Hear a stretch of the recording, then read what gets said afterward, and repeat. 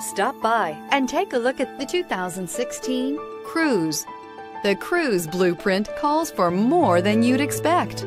This vehicle has less than 65,000 miles. Here are some of this vehicle's great options. Tire pressure monitor, turbocharged, traction control, stability control, daytime running lights, engine immobilizer, tires front all season, tires rear all season, transmission six speed automatic, wheel covers. Come take a test drive today.